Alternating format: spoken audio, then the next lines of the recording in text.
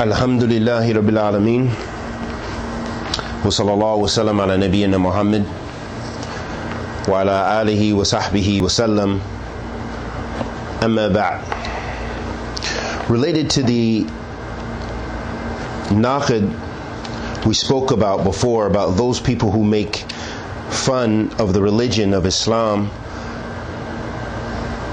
which was the sixth naqid min nawaqid Islam where Sheikh Muhammad ibn Abdul Wahhab said rahimahullah ta'ala السادس من استهزأ بشيء من دين رسولي صلى الله عليه وسلم أو ثواب الله أو عقابه كفر ودليل قوله تعالى قل بالله وآياته ورسوله كنتم تستهزئون لا تعتذروا قد كفرت بعد إيمانكم So this was the sixth um, Naqid min Nawaqid al-Islam where Sheikh Muhammad ibn Abdul Wahhab he said whoever ridicules something from the religion of the Messenger of Allah sallallahu alaihi wasallam or the uh, rewards of Allah subhanahu wa ta'ala, you know, the, the blessings that Allah subhanahu wa ta'ala has given us, the rewards, the things, the promises of Jannah, etc., or iqabihi, or the punishments, has disbelieved.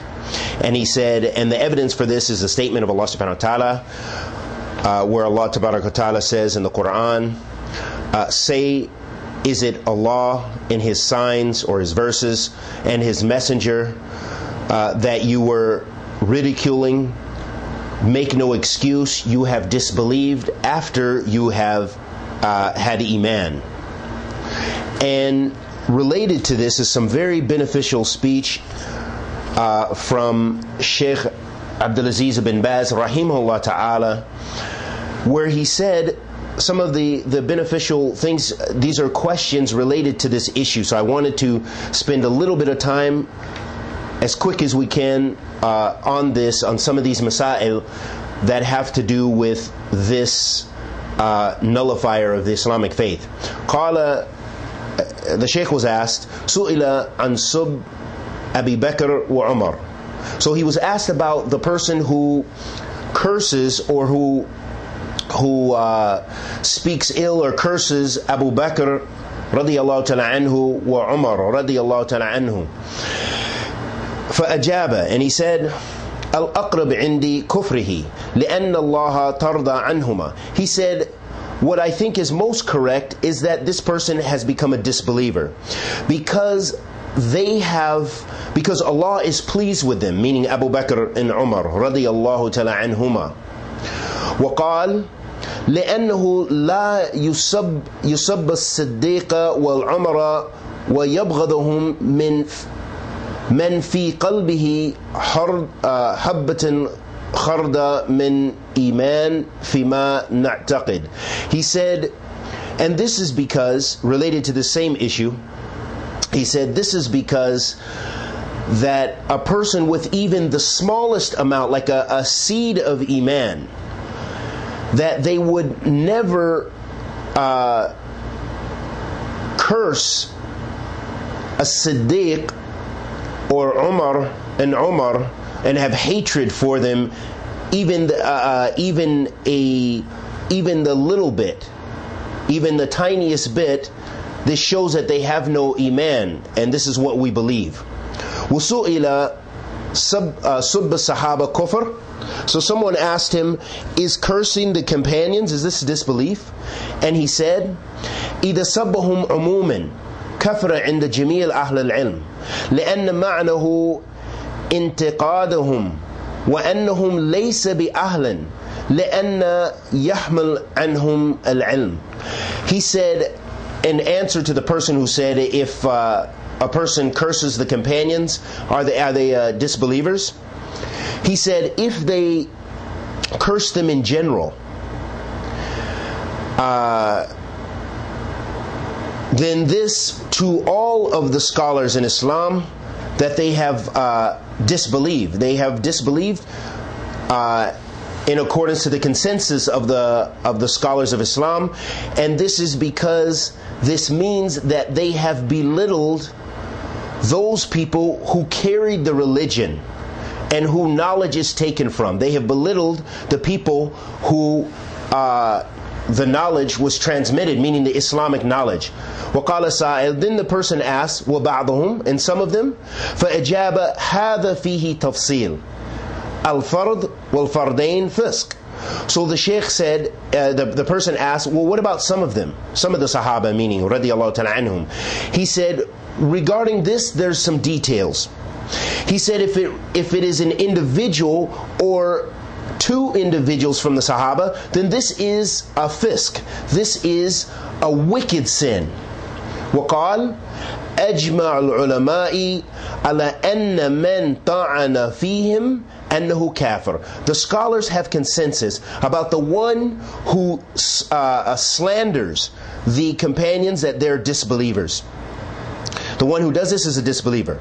من سبهم فهم uh, من سبهم فهو كافر أو طعن فيهم لأن معناه تكذيب النبي صلى الله عليه وسلم النبي صلى الله عليه وسلم يقول هم خير الناس So then he went on to say rahimahullah ta'ala whoever uh, speaks ill of them then he is a disbeliever or curses them uh, or, or um, speaks ill in regards to them or curses them, then this means they have lied or they have accused the Prophet ﷺ of lying. And the Prophet ﷺ said that they are the best of nas. خير الناس قرني ثم الذين يلونهم ثم الذين يلونهم. As the Prophet ﷺ said, the best is those people of my generation.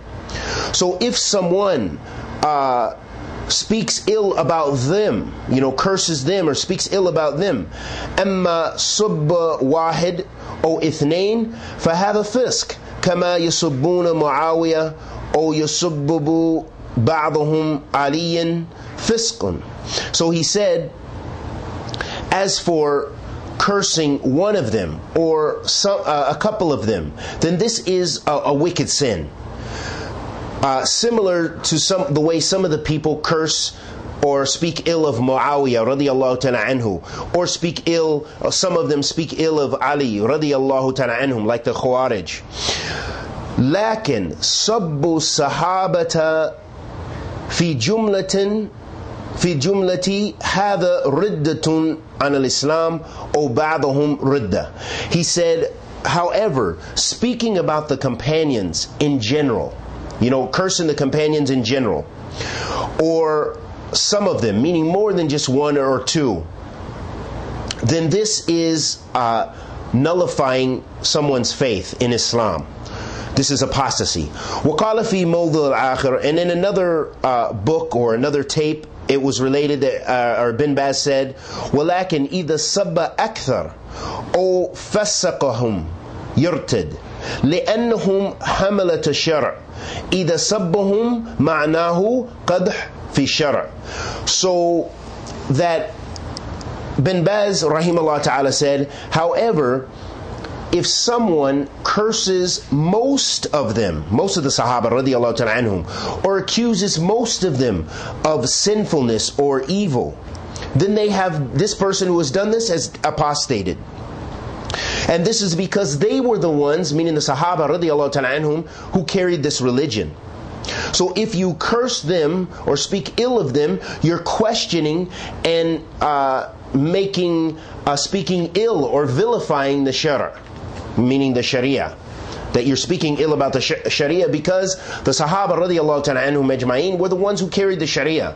They're the, the ones who Allah subhanahu wa ta'ala favored with this ni'mah and trusted with this ni'mah and who were the people of thiqat, the people of trustworthiness and just and uh, were the best of this nation and the best of all the nations after the Anbiya radiallahu ta'ala anhum ajma'in وعليهم أفضل صلاة والسلام with regarding the haqq of the Anbiya عليهم أفضل صلاة والسلام so the Sahaba they were the uh, they're the best of this nation so when a person calls into question their uh, trustworthiness or their um, righteousness or their ability or their knowledge to transmit the religion of Islam, then they are in fact questioning Islam in totality. And we'll come across these statements from Bin Baz uh, very shortly. وقال, and then he said, رحمه الله تعالى, من سب الصحابة كفر ومن أبغضهم كفر لأنهم نقل نقلة الدين لكن من سب واحد منهم واثنين فهذا يفسق مثل سب معاوية وعائشة هذا فسق أما سب الصحابة على على عموم على عمومي فهو كفر وردة عن الإسلام لأنه إذا سبهم فمعناه أنهم ليسوا بعذور وأن ما نقلوه من الإسلام لا صحة له This is a very important statement. This is what I was just mentioning. Sheikh Abdulaziz bin Baz, rahimahullah ta'ala, said, Whoever curses the companions has disbelieved, and whoever hates them has disbelieved. And this is because they were the one who transmitted this religion and whoever however whoever curses one from amongst them or two from amongst them then this is a, a wicked sin a major sin. Uh, similar to the way the people some people curse Muawiyah radiallahu ta'ala anhu or Aisha radiallahu ta'ala anha. And this is fisk. This is wickedness as for cursing the companions in general, then this is disbelief, uh, taking a person out of the fold of Islam, meaning they're apostate. This is because cursing them means that that they were not trustworthy, and that they were and and they were the ones who carried uh, the religion of Islam, and that Islam therefore uh, would not be uh, sound or correct or authentic. Then a person asked Sheikh Abdulaziz bin Baz, rahimahullah ta'ala,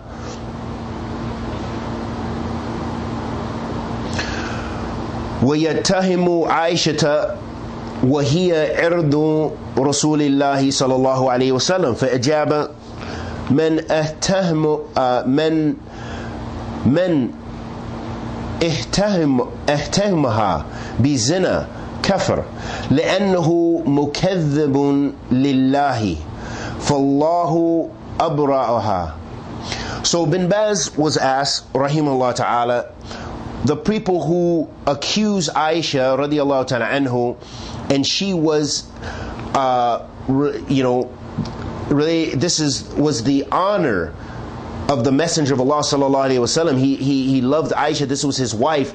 So this is related to the haqq of the Messenger of Allah sallallahu alaihi wasallam. So Bin Baz rahimahullah ta'ala said, whoever accuses Aisha uh, of zina has disbelieved.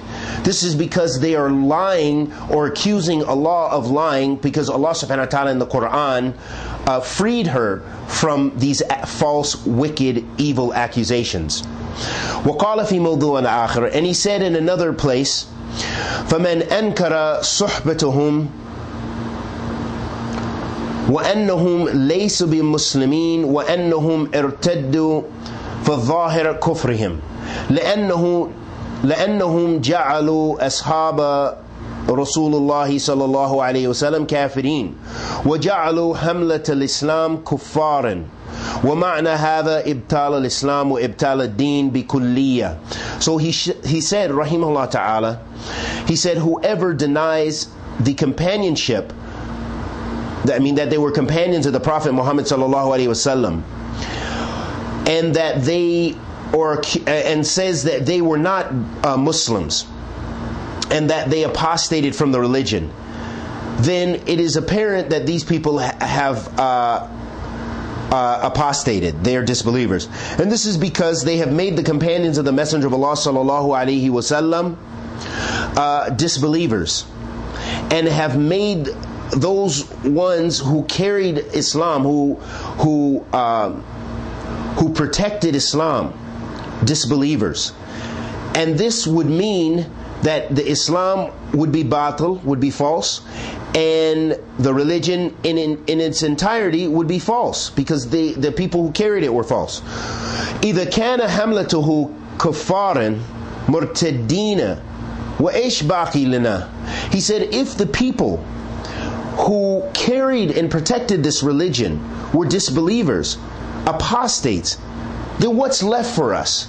وعلى راسهم الصديق and he said uh, first and foremost a Siddiq meaning Abu Bakr وعمر وعثمان وطلحة وزبير وسعيد بن, زو, uh, بن زيد وسعد بن أبي وقاص وأشب وأشبهم وأشبهم فمن يبقى he said and he mentioned all of those companions we just mentioned رضي الله تعالى عنهم أجمعين then what would be left for us if you're saying all of those people have apostate أما إذا سب معاوية وسب عائشة فهذا فسق وظلم وكفر فإن نعتقد عدم براءتها وأنها متهمة صار كفرا أكبر لأنه تكذيب لله So this is a very important uh, detail the Shaykh mentioned, rahimahullah ta'ala. He said, as for the one who curses or speaks ill of Muawiyah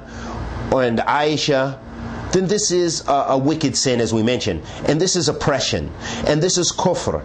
And obviously the Shaykh, this is my statement, he is not meaning that they are uh, that these are the major dhulm or the major fisk and the major kufr because those things if it's major, it takes you out of the fold of Islam. As the ulama mentioned, they divide these categories, fisk, uh, dhulm, and kufr, into two categories. So, meaning that there's the major fisk and the minor fisk, the major dhulm and the minor dhulm, and the major uh, kufr and the minor kufr. And take this as a principle that the one who does the major ones of those sins, the major dhulm, the major fisk, the major kufr, is outside of the fold of Islam. Those are the major ones which take you out of the fold of Islam. The minor ones are major sins which are wicked. And so the Shaykh here is talking about the people who have uh, spoken ill about Aisha and Muawiyah radiallahu ta'ala anhuma, that they uh, have fallen into the major wicked sin and the major oppression and uh, uh, and I'm sorry that they have done a wicked sin and they have oppressed them and that they have fallen into the minor disbelief which does not take them out of the fold of Islam then he says the inataqidu Adam bara'atiha. So if they believe that she was not freed from those, that, uh, those accusations of zina, and that she then this person who continues to hold this belief that they have done the major uh, disbelief. They have fallen. They've fallen into apostasy because they have. They have. Uh, this is because they have um, basically um, denied what Allah has said in the Quran. So it's it's as if they are making they're making takdeeb of Allah, meaning that they are uh, basically accusing Allah of lying because they don't believe in the Quran. The Quran has made bara'ah of her, has freed her from those accusations of zina, but yet they hold this belief as we know the general belief of uh, the extreme Shia sects, not all the Shia, there are some Shia like the Zaydiyah who don't believe this. They have some bid'ah, but they are still Muslim. But however, the Rafida, the Ithna Ashariya, the Imamiyah, all of these groups which you see a lot in Iran and some in Pakistan, some of them in Yemen, in uh, Iraq as well. You see them all over the world. Unfortunately, we have this disease in America as well. We have this sickness in Canada as well. And we have this filthy um, uh, belief also in the UK and Australia and all over the world because these evil, wicked sinners have migrated around the world and taken refuge in these lands and spread their filth as if it is like the flu or as if it's a type of, of sickness. When a person is vomiting, their vomit might uh, spill on the clothes of others and taint their aqidah as well. وَعِيَاذِ بِاللَّهِ مِنْ ذَلِكَ Then the Shaykh said, rahimahullah ta'ala, another important mas'ala related to this this naqid of Islam a mas'ala hukum julus mal mustahziin bid so now we've got come to a new mas'ala which is very beneficial for us because a lot of times we don't get these masail unless we go to the books of the ulama So here's a beautiful issue here, and this relates to the issue of sitting with the person who ridicules the religion of Islam.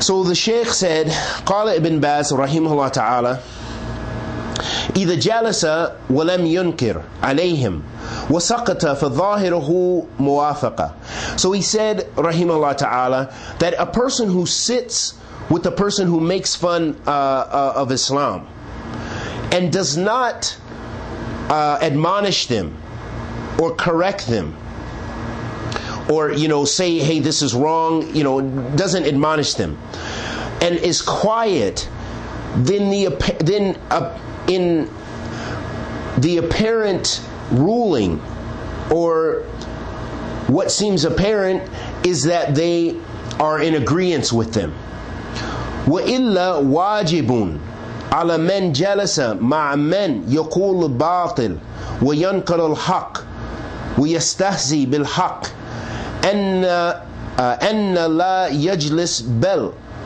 يقول ويفارق إذا لم يستطع الإنقار باللسان.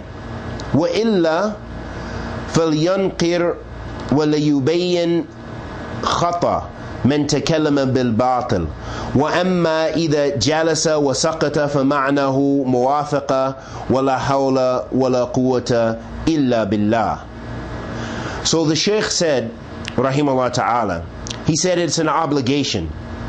Rather, it's an obligation that the person who sits with someone who says a statement of batil. So this can also apply to Ahl Bid'ah in general, even if it's not related to this issue of making fun of the religion.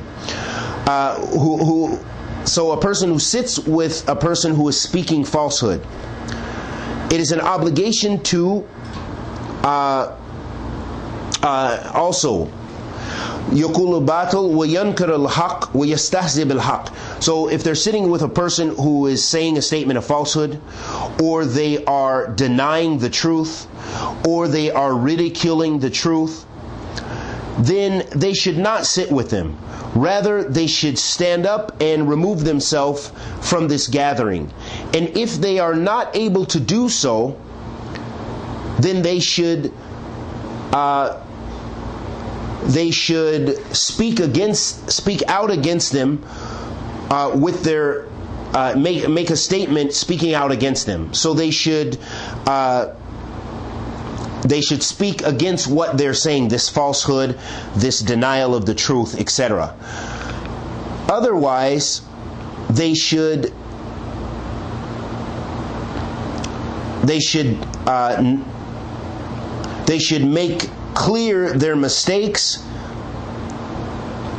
for the one who speaks uh, with falsehood. So they should deny their falsehood and they should refute their falsehood. As for if they sit and they're silent, then the meaning of this is that they're in agreement with them. And he says, and there is no might or power except Allah. He says, La hawla wa la quwwata illa billah. Then he related the ayat, Innakum idhan mithlahum, where Allah subhanahu wa ta'ala says, Verily you are like them.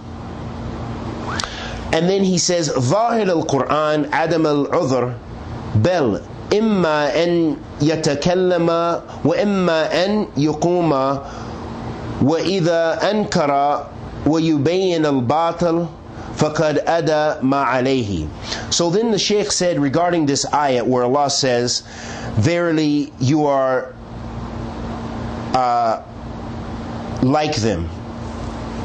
That he says, the apparent meaning of this uh, uh, of in the Quran is that the person is not excused, you know, for sitting with a person of uh, of falsehood, who is speaking falsehood or making fun of the religion. Either this person, either you should speak out against it or you should leave that gathering.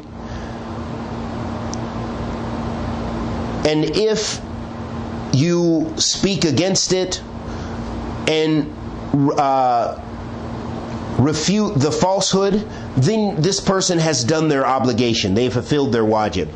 Then he brought another issue here which I thought was important, and this will be the last thing that we speak about related to this uh, Naqid al-Islam. He said, Mas'ala. وقال, and he said, وقد يصب دينه وقد يستهزئ بدينه وهو يقول لا إله إلا الله فلا تنفعه هذه كلمة لأنه لم يؤدي حقها لأن من حقها أن تعبد الله وحده وأن تعظم وأن تعظم حرمات حرماته وأن تلتزم بحقه وأن تكفر بما يعبد من دونه So Sheikh Abdulaziz bin Baz al-Imam rahimahullah ta'ala said related to another issue pertaining to this he said so therefore a person might um, cur, uh, not curse but he may speak ill or vilify his religion. And perhaps he may even ridicule his religion. And then he says la ilaha illallah. This will not benefit benefit him. This kalima, the kalima to tawheed will not benefit him. And this is because he did not he did not give the kalima to tawheed, la ilaha illallah, its rights. Because one of the rights of it is that a person worships Allah alone and that they they